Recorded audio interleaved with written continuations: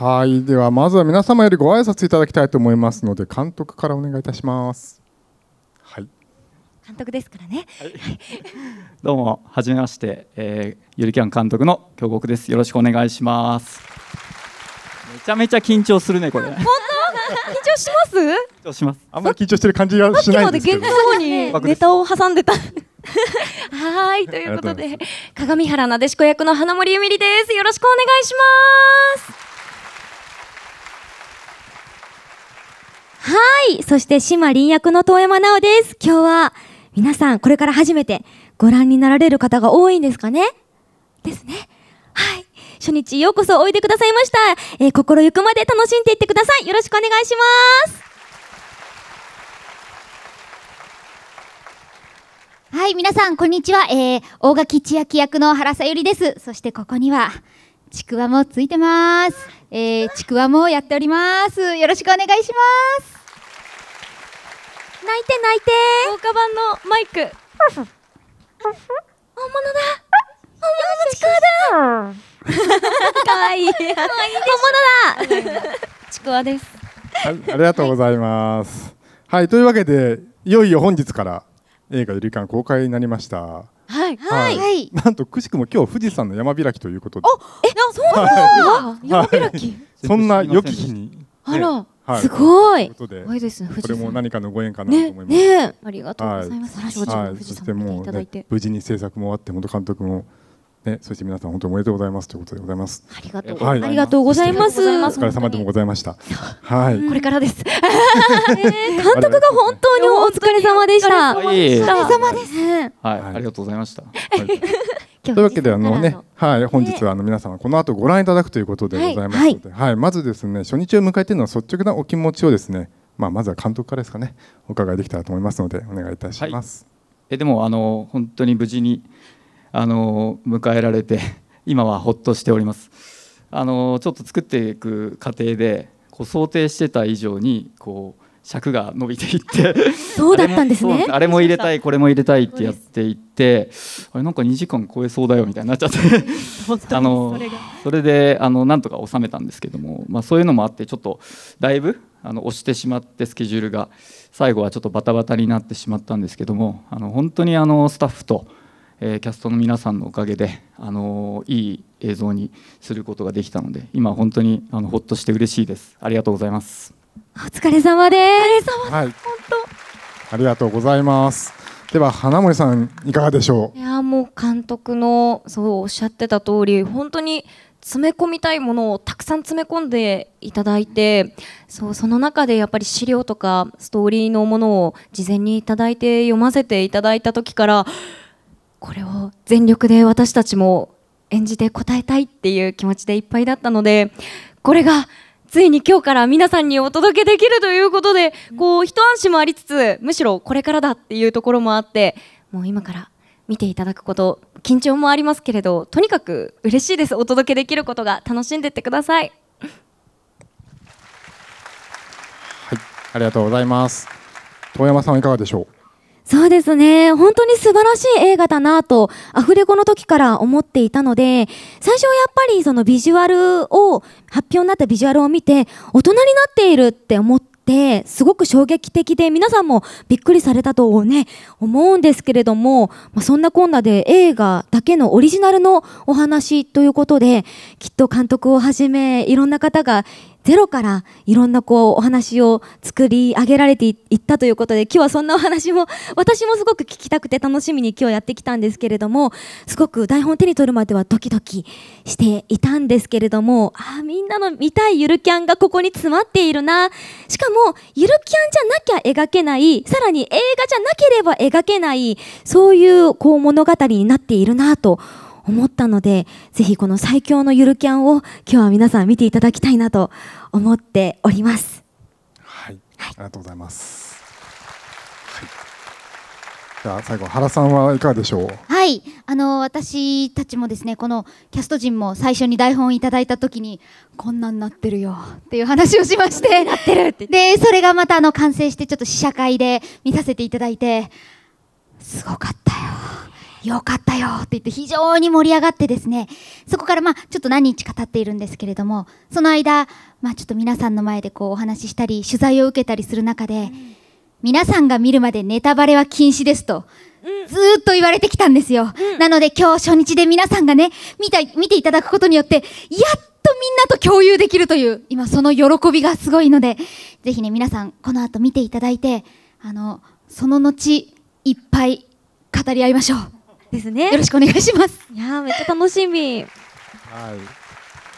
ありがとうございます。はい、あの先ほど遠山さんもねおっしゃってましたけど、あの今日監督がお越しいただいているということでございますのでね、あの映画ゆりキャンがどのようにして作られてきたかというところを含めてまあいろいろと伺っていこうじゃありませんかということで、まあとはいえ上映前なので、難しいね。そこが難しいところなんですけれども、手短に 手短に手短に 聞きたいけど。はい。というわけであの先ほどもお話ありましたけど、そうですねテレビシリーズより時が経ちまして5人が大人になったというわけですけれども、えー、最初に大人の物語を描くというふうに決めたのはまあどういうタイミング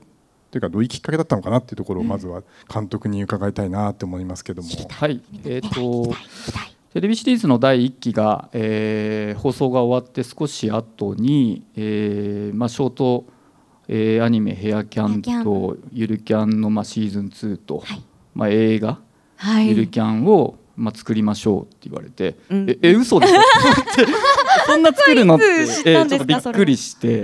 監督はいつそのお話を？それだから4年ぐらい前だったんですよね。そうなんですね、はい、でまだその時は、えーと、うん、シーズン2の「イズキャン」も影も形もない頃で、うん、あの連載がですね、うん、はい、まだ全然ストックというかなかった頃だったので、まあ、シーズン2は原作通りありやらせていただいて、はい、あのまあ、映画の方はこれはまあちょっとオリジナルで、あの考えてみようかみたいな話になって。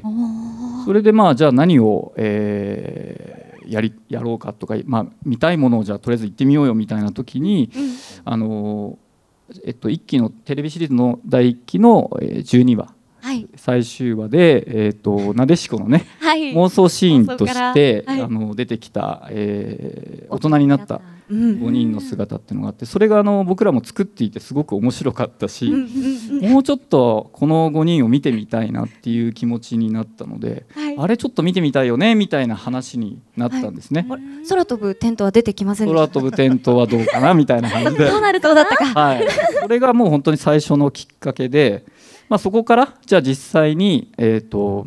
実現可能かどうかっていうことをもう本当にアフロ先生と一緒にあの相談しながら作っていったというのが、はい、はい、感じですね。なるほどですね。すねはい。結構ねもうね確かにその一気になんていうんですかねそのいろいろ決まっていったというか。そうなんですよ、ね、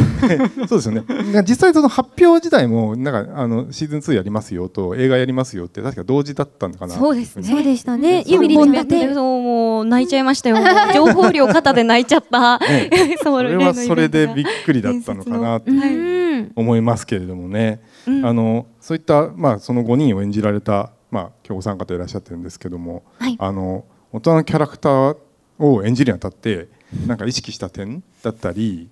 えーとまあ、今回のそのアフレコの収録の際に監督なり音響監督さんなりにからご指導があった点などってありましたかね？でもやっぱ大人演じるってってそれこそなんちゃっての大人を一気で演じて で以来で。そこがちょっとみんなももう知ってるからね。う。ん。まさかそれがでもメインで演じることになるとは思ってなかったから、やっぱりみんなが慣れ親しんでいる高校生のみんなの雰囲気を損なわずに、でもこう大人として成長したみんなの一面をどういうふうに感じてもらえるかっていうところは最初テストをした段階でこうスタッフさんたちと一緒にディスカッションをして、うんうん、なんかこういわゆるこう演じ分けみたいな分かりやすく声のトーンでなんとかするんではなくって、うん、もう本当にセリフからみんなが大人になっているっていうそういう文章にちゃんとなっていたのでそのこうセリフにのっとって身を委ねることでなんか自然とね、何か特別に意識しなくてもちゃんと大人のみんなになって演じられていたような気がするよね。うん。うん。うんうんうんとか言って。やっぱりこう端々の挙動にね大人ならではが現れたりして、うん、まあこれはキービジュアルにあるからネタバレじゃないと思うんですけど、ちょっとあの、はい、ねあ。千秋さんは大人のお水を飲んだりするシーンが。神聖なるお水を。ビッになられてるシーンも。ね。あるし、えー、でもそれもねあなんか意外と、うん、なんていうんですかね今までの千秋にのっとったままで行ったら、うん、なんかすんなりといけたみたいなところも少々すごく自然でしたよ そうですね。あそこ、OK、別にあの大人にしようとか何も考えずにやってましたね。最高でした。もう部長は変わんなかった。うん、新鮮なねお水飲んでても部長は部長でした。ねでも本当それこそこの二人が職場にいるシーンとかがね結構あった時に、うんうん、大人になって大人ってそうだよねっていうところが個人的にはこういっぱいシーンとしては映画の中にあってこう後ろで見てる時になんだろうこう変わらないところと変わってるところってそうだよねこういうところだよねって。そうちょっと一回呼吸を整えようかなって 現実で戦ってるって思いながら社会人としてみんな本当に頑張ってるからね、はい、すごい新鮮だったよね、うん、新鮮だった、うん、なでしこはね好きを仕事にして、うん、でもやっぱり趣味として好きだからこう他の子たちは結構もう自分の仕事としてねちゃんと責任を持って違う世界へ踏み出してる子たちも多くってそこがなんかあ大人になってるって。なってる。なってるって思いながら。そう。読んでても思ったしやっぱり演じられてる姿を見てても、うん、はっって感じてました。うん、うんやっぱりこう京極さんとそれからアフロ先生も含めて、うん、こうみんながいろんな仕事進路を選んだ結果が映画に詰まっているじゃないですか、うん、それをこう私たちは初めて受け取った時になんかあそうなんだっていう新鮮さもありながらみんながみんならしく成長していったんだなっていうのもすごくちょっとほっとするような進路だったりとかもしてそういうところも皆さんでこうお話し合いされて行ったんですか？そうですね。あの5人が将来何をするのかっていうのはあのまあ、キャラクターの性格だったりとか、えー、興味のあることっていうところから、まあ、発想していって、うん、あの僕らの方で一回こうこんな感じじゃないですかっていうのを、まあ、先生にアフロ先生に、えー、あの聞いてですね。でそこからあそうやっぱりそうだと思いますとかあのどっちかっていうとこういう仕事だと思いますみたいな感じであの逐一あの返答をいただいてで本当に相談しながら決めたっていう感じなので。そうなんですね、はい、なるほど。え営業部にいたりんちゃんの話とかってそれは、やっぱりアフロ先生との話し合いの中で決まった？それはえっとまああのいろいろあったんでしょうね。そうそう そうあの法文社の編集の方とかにい。ろいろ話を聞いたりとか、取材をさせていただいて、おそれこそ出版社の方に、リアルリアルなリアルな、はい、なかなかこう希望の部署にはすぐには行けなかったり、そういうこともあるんじゃないですかみたいなね。キャラクターたちが進路を選ぶみたいに悩みながら今のこう未来にたどり着いたっていう感じなんですね。そうですね。面白い。一応ずっとあの高校卒業してからの進路とかは一応決めるだけ決めて、まあ全部は出さないけど、一応そのベースとしては考えて作っていきましたね。はい。面白いね。ねあそうですね。こういうの聞きたいよね。ねいろんなこと聞きたくなりますよね。はい、で監督実際あの皆さんの演技を見てこうなんかどうでした？あの実際にあの感想と言いますかそうですねあの最初はやっぱりあの少し大人の演技っていうものをあのどうやって作っていこうかと思ってあのとりあえず最初は丸投げして 思うようにやってくださいって言って、はい、それで結構花森さんとか最初いろいろ試していただいて割とこう桜お姉ちゃんに寄せてみたりとか。とか生っぽい少しリアルな、あの20代の声を出してみたりとかしたんですけど。僕ちょっとショックを受けたんです あそう言われました。すごすごいショックを受けたっていう。びっくりびっくりしたって。なでしこ大人になりすぎて僕はショックを受けたっていうのそうそれをあの音響監督越しに聞いてそう。あちょっと心臓に悪かったかもしれないって。言ってそうちょっともうもうちょっと今の戻しましょうかみたいな痩せてまあ最初だけそういうのを少しやったんですけども、その後はもう本当に 全然多分そういうディレクション入んなかったですよね。大人っぽくみたいなディレクション全く入んなくて、本当にそのままやっていただいたので、まあなんていうか全然なるほど、ええ、もう楽だったと 何も。そうですよね。こういう感じですよねっていう感じであのなんか納得するっていうか聞いていてあこうなるよなっていうあの演技をしていただいたので。よかった本当に素晴らしい演技でした。本当にありがとうございます。ありがとうございます。はい、ありがとうございます。はい、でそんな映画「ゆるキャン」ですけども今回その、ね、高校時代にキャンプした5人が大人になってというところでキャンプ場を作るっていう話になってましたけど、うん、はい、はい、これ結構ね大人になることも驚きだったと思うんですけど キャンプ場を作るっていう話したこれ経緯って伺ってもいいですかね？経緯。あのー、まあもちろんその大人になって、うん、あの同じように5人が少し例えば規模を大きくしたキャンプをするとか、はい、違うところでキャンプをするとかみたいな案ももちろん上がったんですけれども、なんかその、えー、と大人があの主人公の意味というか、大人だからできる物語っていうものがもっと作れないかっていうことをいろいろ考えていって、まあ、その時出たアイデアが、まあ、キャンプ場を作るっていうことだったんですね。もうあのこれはやっぱりあの子供ではちょっと難しいことだと思いますし、大人にしかできないことだし、また今までそのキャンプ場に行ってキャンプをするっていう関わり方とはまた違うキャンプとの関わり方っていうのが自分たちが作るってなるとそういう違う関わり方ができるんじゃないか、そうすると当然そこで感じるキャラクターたちが感じる感情だったりとか、えドラマっていうものもまた新しいものがねあの作れるんじゃないかなと思ったのでこれはちょっとチャレンジしてみようということであのキャンプ場を作るっていう ちょっとなだいぶあの予想の斜め上を行くびっくりしました。感じだったと思うんです、ね、そうですね、はい、皆さん聞いた時どう思いました？いやそれこそ金ならあるんやって分割したキャンプをしたりとか 金ならあるんや。海外行ったりとかね旅行したりとかするのかなって言ってたんで、ね、でも確かに監督のお話を聞いて大人だからできること。そうだよな。お金じゃなないよな。って今ちょっと反省省してました。キャラクターたちがさ大人の経済力で税を尽くしたキャンプをするってさ、なんか楽しいけどちょっと見たいような見たくないような。A 5ランクの牛肉買ってきたよって。ああそうだ。ったんじゃなくて。大人になるってこういうことなんだみたいにな。っちゃうとねちょっとシュンってなるよね。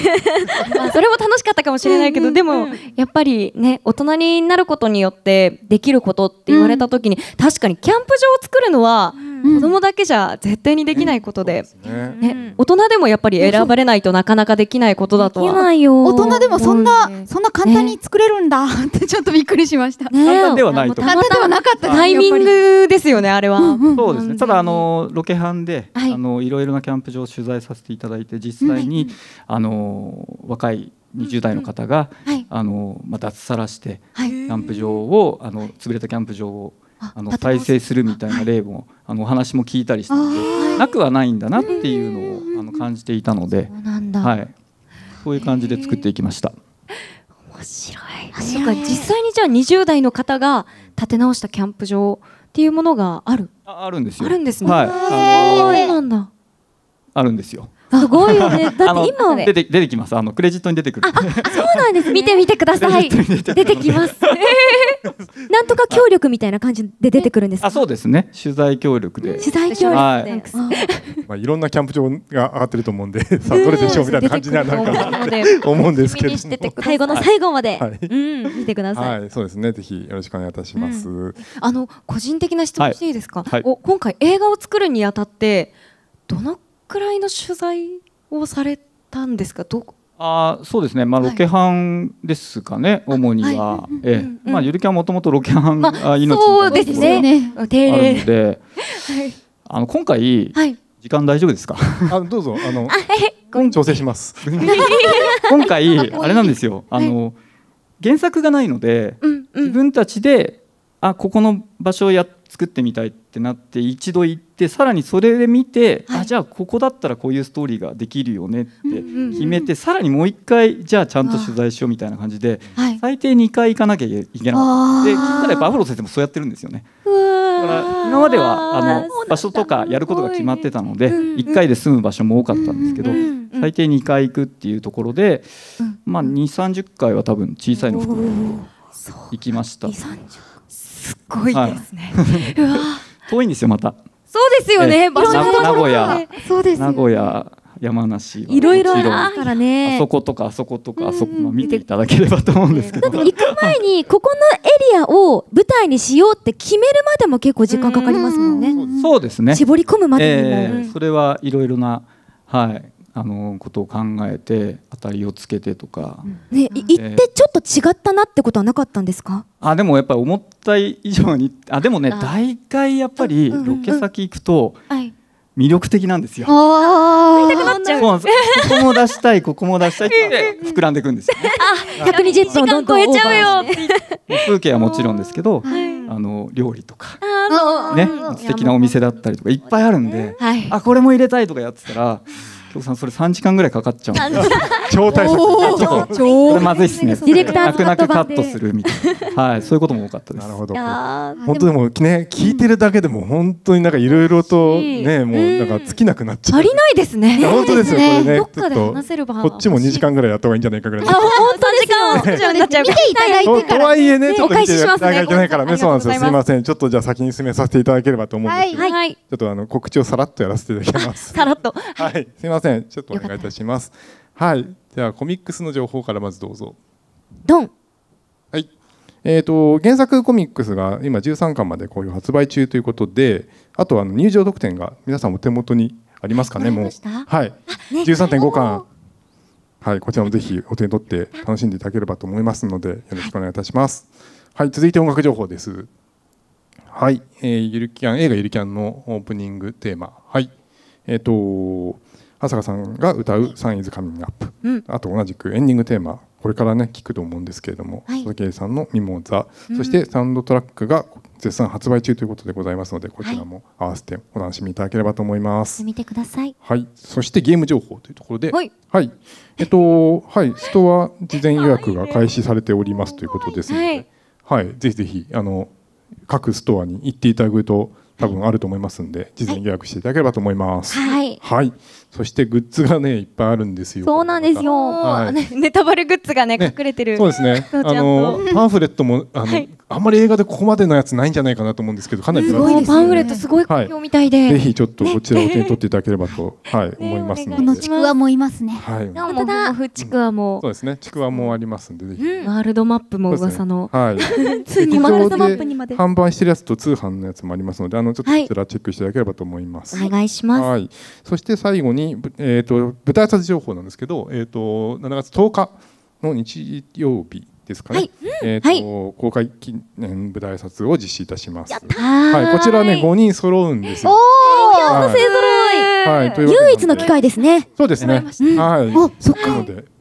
ぜひぜひというところで、はい、あのこちらの、えっと、丸の内ピカデリーが本会場になりまして、で全国120の劇場でライブビューイングをやりますという。はい、あの松竹マルチプレックスシアター系列の劇場で明日から販売開始。他の劇場さんは劇場によって発売日が異なりますので、えっと、各劇場のホームページご覧いただければと思います。というところでございます、はい、以上がお知らせです。ありがとうございます、はい、というわけでですねお時間がなくなってしまって 分かってはいたけど。はいはい、上映時間がね、あの、はい、これからね、本番が。あ、そうですよね。そうですね。皆さんも話してる間に本番が始まっちゃう。今これウォーミングアップなんで。ウォーミングアップ。はい。というわけで最後に皆様から一言ずつ、えー、皆様にごメッセージをいただければと思いますので、えっ、ー、と原さんからじゃあお願いいたします。はい、えー、今日は皆様、えー、お越しいただきありがとうございます。そしてこの後見ていただくということで、えー、我々もですね、あの映画を作ると決まった時から、あの台本をいただいた、いただいてアフレコをして、それからもうスタッフの皆さんは絵を作って、あといろいろやって、あのいろんな仕事をいろんな人が各自やって ですごく大変な思いもした方もいますが、なんとか皆さんに見ていただけるようにここまでこぎつけました。って私が偉そうに言うのもあれだけど、まあ、でも本当に本当にあの部長あちょっと部長としてですねみんながここまで立派に作り上げてくれたことは本当に誇りに思っている。うむ。とですねこのなんか偉そうに言いたくなるぐらい本当に素晴らしい映画になっているんじゃないかと思っています。あの私もですね試写会で見せていただいた時にエンディングで思わず温かい涙がこぼれるようなすごく温かい映画になっていました。であの社会人の皆さんにはすごい刺さる言葉がいくつかあるかもしれないとか思いつつでも何て言うんですかね。絶対に見てよかったなと思えるそんなゆるキャンらしい作品になっていると思いますのでぜひ皆さんですねこれから始まるゆるキャンの時間に身を委ねてたくさん楽しんでいただけたらと思います、えあとなんか千秋さんもあの今回は一生懸命いろんなことをやっていますのでぜひ応援のほどよろしくお願いします。じゃあぜひぜひ楽しんでください。今日はありがとうございました。はいありがとうございます。じゃ遠山さんお願いしますはい皆さんいよいよこの後お待ちかねの映画がついに始まりますえー、本当にね、この映画を見て、私は、あの、映画館でゆるキャンができて、本当に良かったなって思うシーンがいくつもありました。皆さんがこうやって応援してくださったおかげで、銀幕にゆるキャンを来ることができたので、本当に嬉しく思っております。ありがとうございます。で、もちろん映画120分も尺ありますので、こう、起承転結、いろんなこう展開があるんですけど、ただ私はどのシーンどのシーンもすごく情報量があって濃くてこだわりがあって面白くってすごい映画だなってアフレコしながら思っていたんですけれども今日実際に京極監督のお話を聞いていろんなロケ地に行かれてあこれも描きたいあれも描きたいっていう風にきっとロケ班大変だったと思うんですけどでもなんかすごい楽しそうってって思ってお話を聞いてだからこういう映画になったんだなというのをすごく感じました。もっともっとお話あの伺っていきたいところではあったんですけれどもとにもかくにもまずは映画を見ていただいて皆さんもぜひいろんな感想を、えー、ハッシュタグえっ、ー、とや映画館で野外活動。映画館で野外活動でつぶやいていただいたりみんなで語り合っていただいてどんどんね映画の面白さをみんなで共有し合って、えー、映画館でゆるキャンがやっているうちに何度でも遊びに来ていただきたいと思います。今日は本当にありがとうございました。楽しんでいってください。はいありがとうございます。花森さんお願いいたします。はい。改めまして本日はお越しいただきありがとうございます。いよいよ皆さんにお届けすることができるということでもう本当当に一安心一安心。であの衝撃的なことを言うんですけれどまだ私劇場で見れてなくって劇場という環境で白箱はいただいて家で暗くしてこう布団に潜りながら見たんですけれど あ失敗したな。絶対これ映画館で初めて見るべきだったなって思って、うん、私もこっそり行く予定なんですけれどあの今朝母から LINE が来ましてあのもう私は見て13.5巻までもらってきたと、はい、お私よりも私よりも 母の方がちゃんと完成品を見るのが早かったです。いやでも本当にあのあのですね私のところにメールとしてもうなんか34人くらいから映画ゆるキャン見ましたっていういうコメントがもう友達から来ていて、ね、私まだ劇場で見れてないんだけどなっていう心がいまだにあるくらい早く私も劇場で映画館野外活動したいなって思っております、うん、でも本当にこだわりがそうあの今の30分ではとても足りないような、うん、あの監督をはじめとしてもう皆さんのこだわりがたくさん詰まった映画となっておりますのできっと楽しんでいただける2時間になっていると思います。どうぞこれから楽しんでいってください。私も早く見たいです。ありがとうございました。はいありがとうございます。では最後監督お願いいたします。えー、すみません。今日あのね、はい、なんで僕最後なんですか？ビシッと決めてくださいよ。監督なんであの本当暑い中ねあのわざわざお越しいただいてありがとうございます。あの僕はあのなかなかあのお客様とあの顔を合わせる機会がないんですけども今日本当にたくさんのお客様にですねあのこうやって来ていただいてああ本当にこういうたくさんのファンの方にあのゆるキャンという作品があの支えられてきたんだなと思ってすごく嬉しいです。あの本当にあのここまで映画まさかね 映画を作るなんて僕は最初に え一気の話をいただいた時は考えもしなかったんですけども、ここまであのたくさんの方に見てもらえる作品になれたのはあの支えてくださっているファンの皆様のおかげなので本当に言葉を借りてあのお礼申し上げます。ありがとうございます。あのえあのちょっと長いですけども 最後までね、ねえあの楽しんでいただければと思います。どうぞよろしくお願いします